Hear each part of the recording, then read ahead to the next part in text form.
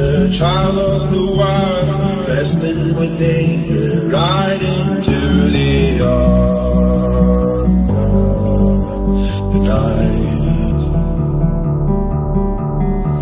Renegade my nature, child of the